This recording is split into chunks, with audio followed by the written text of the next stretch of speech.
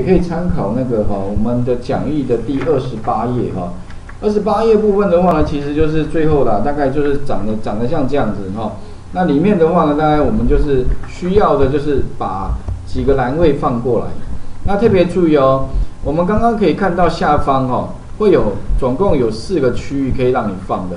那这个四个区域要怎么放？可以完成哈？我们在二十八页这边可以看到哈，里面的话就是列标签、蓝标签，然后里面的值的统计。那假如说我今天要统计的是卖的台数，不是销售金额，卖的台数，好，哪一个东西卖的最好？在不同的区域里面，不同的时间里面，我想知道一个报表，给我一下。那要怎么做？其实非常简单哦，就是如果你是多栏的话，第一个哈，一样，我们把这个游标一样是放在哪里呢？放在我们的主档原始资料里面，啊，所以资料已经正规化了，你这个时候就可以 OK 了哈。然后呢，再来讲一样插入一个枢纽分析表，范围没有错，按确定，OK 哈。那当然我目前都局限在 Excel 里面啊。如果未来你的资料是在资料库也可以哦，它也可以用资料库啊。不过因为我们这个课程是基础基础班嘛，进阶班才会讲到有关外部资料库部分哈。OK，所以这部分的话，我们一样是来自于 Sales，按确定，好，啊一样会产生这个 Cache 的哈。然后呢，再来就是说呢，我们要做什么？哎，呃，我们要的东西，那你就大概知道一下。所以你要推，如果你要分析的是最主要的是产品，第一个，呃，priority 是第一个是顺序是第一个就产品的话，那请你放在列标签啊。第二个的话呢是它的那个区域的话，请你放在蓝标签。那所以我们怎么拖拉？一把那个哦产品名称放在列标签。再把那个什么区域部分放在蓝标签，这样的话，哎，列标签哪个产品在哪个区域，销售的台数多寡，我想知道一下，你就把什么销售台放在值里面。那我刚刚讲过，如果你销售台里面如果是数字，它就帮你加总，OK，这个时候的话就帮你加总出来了。那你想说，那如果我还要想要考虑到一点，就是说。那它的不同年度，假设我这边有一百零一百零二一百零，假设很多年的话，那我想要看出它不同的年度的销售情形，在不同的区域里面，啊，最好是画个趋势图了，你会发现，哇，高高低低，马上就知道哪个东西未来会不会大卖，因为它一直往上，那表示它在啊不断的在在成长期，啊，如果它慢慢往下，那表示它已经衰退了，这东西已经慢慢要改了，OK 哦，所以呢，我们再来就是年度怎么样？那年度你可以放不同地方，我刚刚讲过，你可以放哪里呢？如果你放在列标签下面，它就变成有点像加跟减，让你可以展开，让你可以再收折，哦。可是你想说，这个有个缺点呢，就是说，如果我觉得放在这边不 OK，我希望呢，你呃不要是收折情况，你是什么呢？能够让我我点了一百零一就一百零一，点了一百零二就一百，就有点像是。超连接那种感觉，哦，OK。如果要有点像分页的效果的话，那各位其实可以看哦，其实这这个后面也有了啊。如果你要有那个分页的效果呢，其实可以把它放在哪里呢？把年度放在报表筛选里面，拉上去有没有？报表筛选，哎，这边就有，你会发现哦，上面就会多一个年度。那你可以用分页的类似效果，有没有？如果你点一百零一的话，按确定。它会怎么样呢？一百零一出现了，OK，这个时候一百零一年的报表哦。如果你要一百零二年的话，再点一下一百零二年，确定，它这样就一百零二年，OK。啊，当然如果你要两年的话呢，就把它什么全部就可以了，哦，按确定。啊，另外如果说你有多更多的年的话，假设你有一百零三、一百零四，那你要跳着选的话哦，其实记得啊，因为目前资料不够多，你可以按 Ctrl 键。好，然后它可以跳着选啊，比如说我要哪一年加哪一年加哪一年，这样也 OK。底下也会讲多选嘛，哈，可以用多选的，你打勾也可以了哈。然后呢，按确定之后的话，我要恢复成全部了，好，OK，可以再帮我放在筛选哦，所以这个可以放下面，可以放上面，好，那你可以针对你要不同表现的形态，可以有不同的那种感觉出现，好。那再来的话，如果我把它放下面的话。啊，会有个问题，什么问题呢？就是这个里面的资料哈，其实理论上我们一样习惯啊。你如果没有千分位符号哦，理论上一定会先把什么常用里面改成千分位符号，去除两个小数点，哦，OK，哎，不过小数拿掉之后还有紧紧的问题的话，那是这应该什么栏宽不足嘛？所以怎么样把 B 到 F 选起来，快点两下其中一条线，这样就 OK 了。哦，啊，其实快点意思就是说栏宽自动调整一下，最适栏宽。哦，这样最方便嘛，选上面嘛，对哈，快点两下，这招很管用哦。哦，如果不会的话哦，你可能要慢慢调了哈。OK，那再来的话还有一个问题，什么问题呢？就是里面呢好像有一些是空白的。那空白的话哦，理论上要不就补零，要不就是如果你是那个有千分位符号，就是一个减号，没有东西至少有个减号吧，你不要好像空在那里，感觉怪怪的。所以如果说我今天呢。希望呢，如果空白帮我补零，或者是说千分位符号一个减号的话，啊，记得哈，可以从那个选项里面，不过讲过了，那个新版应该是分析选项里面呢有个叫选项，选项里面有个选项哈，这边就会有一个什么呢？哎，若为空白储存格的时候，你要显示成什么？啊，理论上大家一般习惯是显示为零的，哦。那你可以这边输入一个零就可以了，输入零，若为空值，显示为零。好，这样的话呢，特别重要，记得是在哪里呢？选项哦，这边是选项里面的选项。那如果你可能版本不一样哦，也要自己找一下哈。OK，然后呢，若为空值，显示为零。那可是如果你是旧版的话，其实一定有，只是放的位置不一样。好，OK，啊。啊，有可以也可以，右键也可以哈。所以如果说 你找不到的话，不同版本你可以按右键，好像有枢纽啊枢纽分析表选项，它也会出现。好，这个也是一个方式。那可以不限于哪一个版本啊。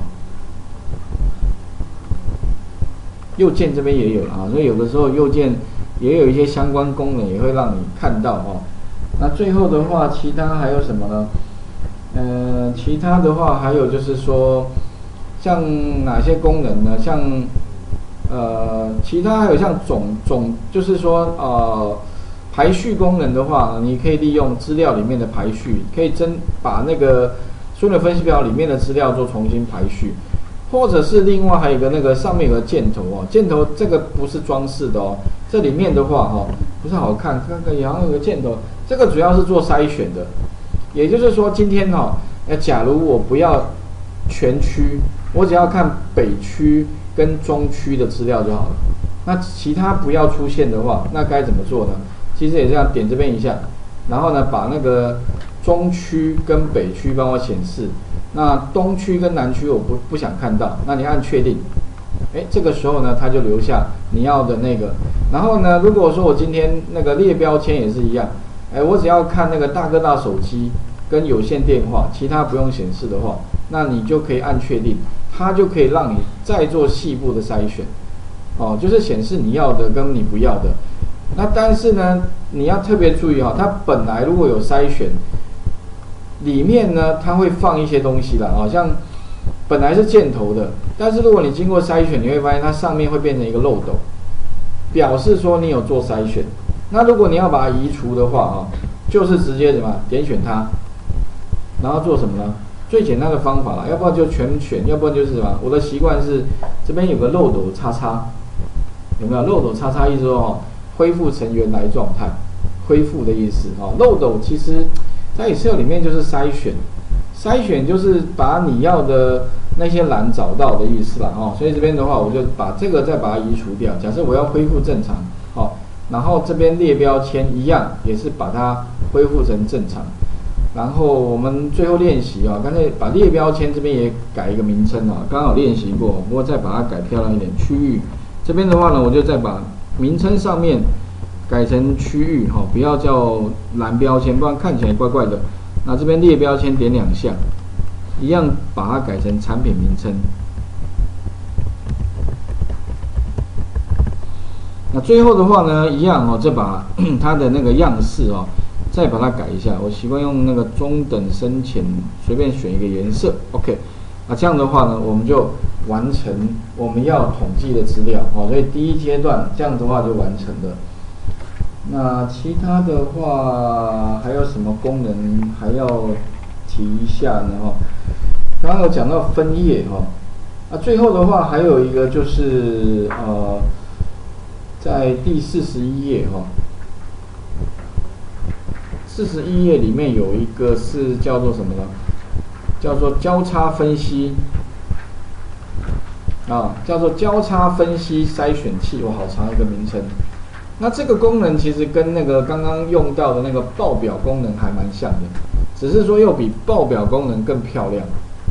好，可是这个部分的话啊，有一个问题就是说，它这个功能呢，只限制在 Excel 二零一零以后的版本哦。因为上次上课就有同学就是看了他的那个哦，还发现奇怪，老师你怎么有，我怎么没有？我一看哦，你是二零零七的，多少天就没有这个功能。那不过因为刚好有啦，所以我就稍微讲一下啊。如果你以后用新的版本，你就知道哦，它有这个功能。比如说我今天要针对不同，它这个有点像是嗯报表筛选的一个啊延伸功能。那怎么去使用它？哈，其实也非常简单。一一样是到哪个地方呢？到选项里面。二的话呢，你可以看到哈，在选项哦，那新版叫分析哈，插入什么呢？交叉分析筛选器这个功能。哦，新版应该也有了啊。那把按下去之后，它会问你说：“那请问一下，你要我产帮你在旁边产生什么样的栏位，可以让你快速筛选？”好，比如说要针对年度，点一下，哦，或者甚至你要针对名称也可以啦，针对区域，反正这三个你就把它打勾，按确定之后的话，它就帮你产生三个面板。这三个面板呢，有点像是快速让你筛选的功能，哦，那这三个面板又有点像网页啊，网页里面的话可以让你这样切来切去，啊，这个面板出现之后啊，它你可以让它移动，并且可以缩小它，啊，缩小的话可以把它点点一下，年度两个。然后看把名称放下面好了，不然的话感觉很拥挤啊。另外的话，如果你觉得它外观不好看的话，你也可以再把它怎么样点选它。比如这个要换个颜色，上面有让你可以选的颜色。